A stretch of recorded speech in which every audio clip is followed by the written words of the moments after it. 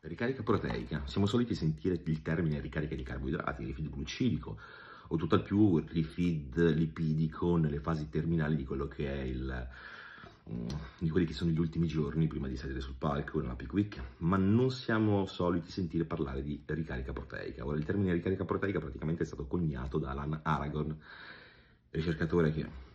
penso conosciate più o meno tutti nell'ambito del natural bodybuilding, eh, si occupa specialmente di nutrizione, ma non solo, ed è stato autore di diversi libri sulla nutrizione, tra i quali un libricino trattante l'argomento proteine e tutti i fatti e misfatti legati appunto a questo macronutriente e alla sua componente base, quindi gli aminoacidi. E in questo, in questo libricino di recente stampa, tradotto in italiano, ha parlato di ricarica proteica, che come, similmente, almeno come spiega lui, alla ricarica di carboidrati, eh, aumenta ovviamente il consumo di grammi chilo peso di proteine, ma senza avere una, uno scarico ovviamente precedente. E eh, viene applicato in contesti di ricomposizione corporea o comunque di CAT. È una sorta di carb cycling, o, me, o meglio, di modifica all'interno della carb cycling tradizionale e ancora di più possiamo dire che è un'ibridazione tra una carne acqua e una carb cycling classica. Solo che in questo caso, appunto, abbiamo una teoria di aumento delle proteine di 2-2,5 volte superiore a quella di base. Mettendo il caso che il soggetto consumi una dieta con un buon quantitativo di glucidi per la maggior parte della settimana e una quota proteica di circa 1,6 grammo chilo peso, arriva in questi giorni dove eh, praticamente concentra le calorie praticamente del tutto su quella che è la componente proteica aminoacidica e passa da 1,6 a 3,5 anche 4 grammi per chilo di, per chilo di peso corporeo per 2-3 volte a settimana. Ora, eh, lui riporta comunque che ci sono stati degli studi, per esempio di Antonio e colleghi e tal, che hanno mostrato uh, soggetti uh, trattati con più di 3 grammi per chilo di peso corporeo di proteine che non hanno mostrato né miglioramenti né peggioramenti nella composizione corporea. Ma questo studio, secondo l'autore, era appunto un po' fallace perché non si prendevano in considerazione uh, l'intero quadro nutrizionale e ehm, di stimolo allenante, di contesto praticamente, per farla molto breve. E mh, lui appunto dice che ci sono generalmente eh, tre motivazioni per le quali ehm, lui vede una logica nella ricarica proteica. Uno è massimizzare la sazietà e ridurre il senso di, di fame durante i giorni con bassi carboidrati. Questo pacifico lo sappiamo tutti. Il secondo motivo è, è, è all'idea dell'affaticamento psicologico della dieta, sempre legato al fattore sazietà. E come terzo, eh, spingere teoricamente più in alto l'asticella della, della qualità della composizione corporea. Sappiamo che comunque gli aminoacidi hanno un potenziale di ripartizionamento calorico verso il miocita, quindi verso il muscolo, e hanno questo, um, questo up upregulation verso eh, la qualità eh, ricercata a livello ipertrofico nella ricomposizione corporea, non soltanto per quello che concerne appunto il senso di sazietà e la termogenesi eh, richiesta per la gestione, eh, l'assorbimento e la metabolizzazione. E quindi c'è questa ipotesi che ha, creando dei picchi, due o tre picchi alla settimana di questo, di questo tipo, migliori il quadro della ricomposizione corporea. Ehm, diciamo che comunque il, per quanto possa essere affascinante e applicabile, eh, possiamo dedurre che non sia propriamente una grandissima idea, o meglio, è applicabile a un pubblico abbastanza vasto, eh, anche di non prettamente addetti ai lavori, che non sono proprio atleti inquadrati mentalmente in tal senso. E mh, mm, verrebbe un po' difficile poi pensare che persone che non sono molto avvezze alle proteine possano consumare certi quantitativi e soprattutto penso al fattore digestivo con proteine di, con quantità proteiche che comunque consiglio giustamente magre eh, in, in, in, quel contesto. Sicuramente scegliendo fonti ad alta digeribilità come carni bianche sicuramente si hanno uh, meno problemi ma con quel quantitativo di proteine per, per chilo di peso uh, la scelta migliore sarebbe quella di mixare ovviamente il quantitativo, il quantitativo proteico um, da fonti intere con eh, proteine in polvere e, o meglio ancora aminoacidi essenziali.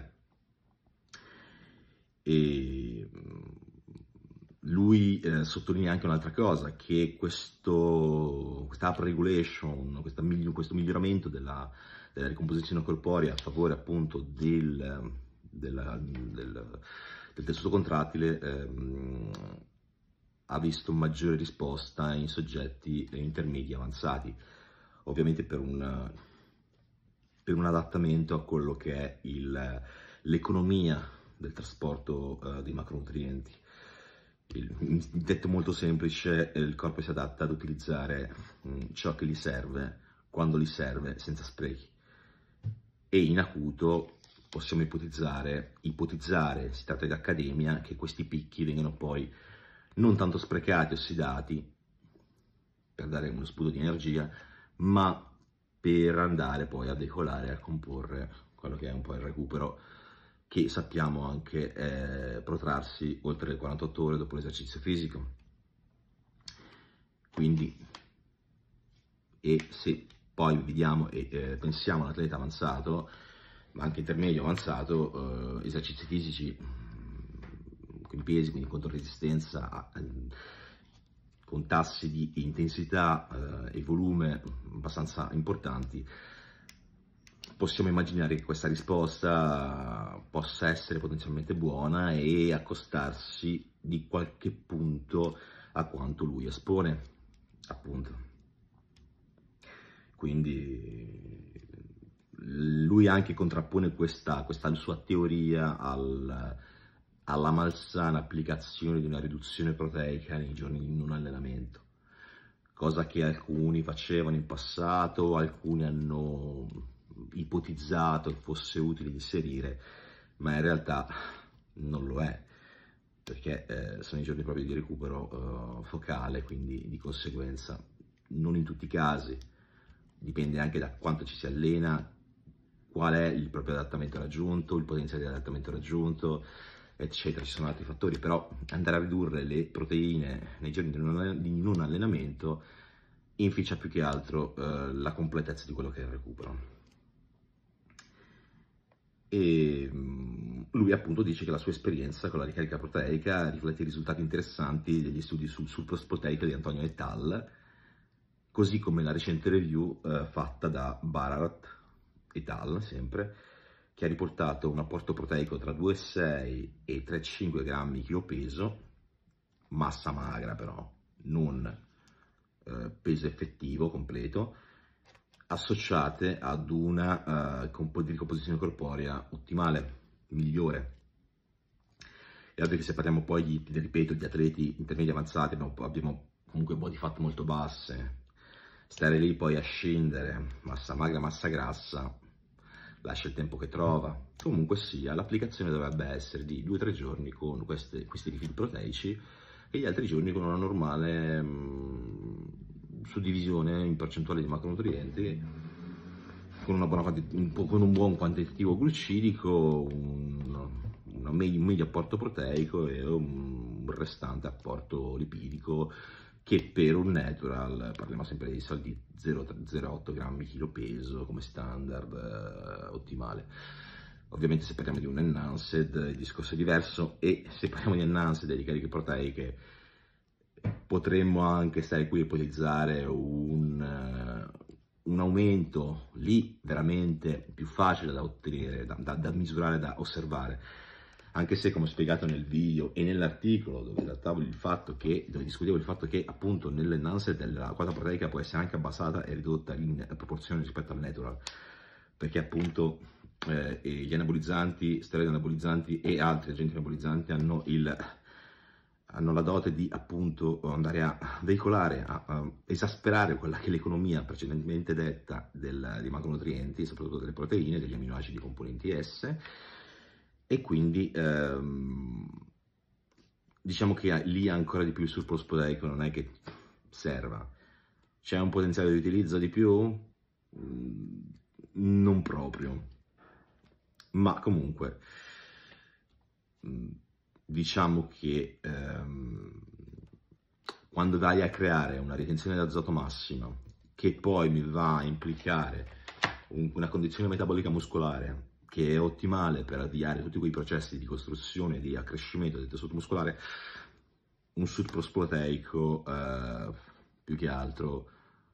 lascia il tempo che trova andando poi a essere utilizzato nelle sue componenti aminoacidiche per una dispersione maggiormente in calore e un'altra nei processi gluconeogenetici e una piccolissima parte irrisoria in quelli secondari che sono lipogenetici, de novo lipogeneti, ma quella è, un, è irrisoria da far schifo con le proteine ancora di più che con i glucidi in un soggetto non insulino resistente. E quindi questo, quindi interessante, applicabile, testabile, probabile, ma sicuramente non una grandissima idea e non mi aspetterei grandissime cose. Sarebbe interessante da usare come, come break diet, come, mm, appunto, come in, in pausa da una dieta ipercalorica, tanto per spezzare un po' la continuità e andare a poi recuperare i parametri di sensibilità, ma comunque con le giuste precauzioni soprattutto per quanto riguarda la prima citata eh, componente digestiva, evitare, sai, effetti putrefattivi e compagnia. Quindi, anche oggi abbiamo detto la nostra.